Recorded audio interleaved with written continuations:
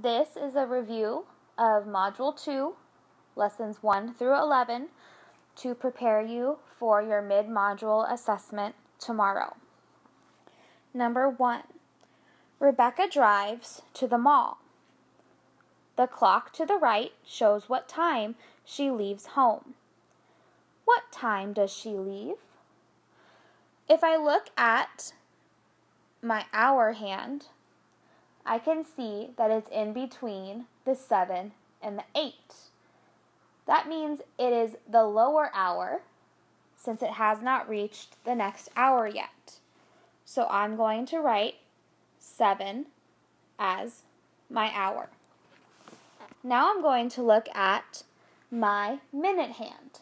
And I notice my minute is past the 3. If I'm counting by fives, I can count 5, 10, 15. I need to continue counting, this time by ones, for my number of minutes. So I'm going to count 15, 16, 17, and that's about where my minute hand is. So I'm going to mark the time as 717.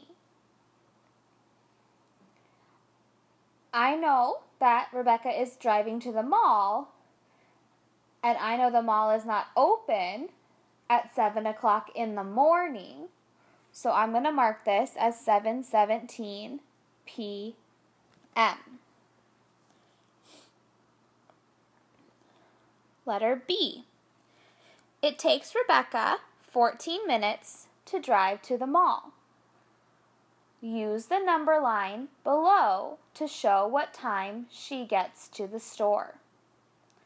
So we have 717. If I mark my number line, oh no, I know this dash is 15. If I continue writing 15, 16, 17, this is when Rebecca gets to the mall. Or, I'm sorry, leaves for the mall. It takes her 14 minutes to go. So I'm going to count. One, two, three, four, five, six, seven, eight, nine, ten, eleven, twelve, thirteen, fourteen. So right here at 31, is where she is getting to the mall. Letter C. The clock to the right shows what time Rebecca left the mall. What time does she leave the mall?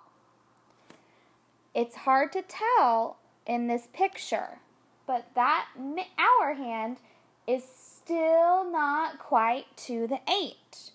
So our hour is still 7 o'clock. Our minute hand is pointing directly at the 11.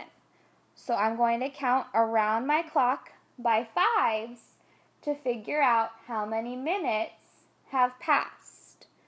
5, 10, 15, 20, 25, 30, 35, 40, 45, 50, 55. So Rebecca left the mall at 7:55 p.m. I can also check its p.m. with these marks on my number line. That reminds me that it is p.m. Last letter D.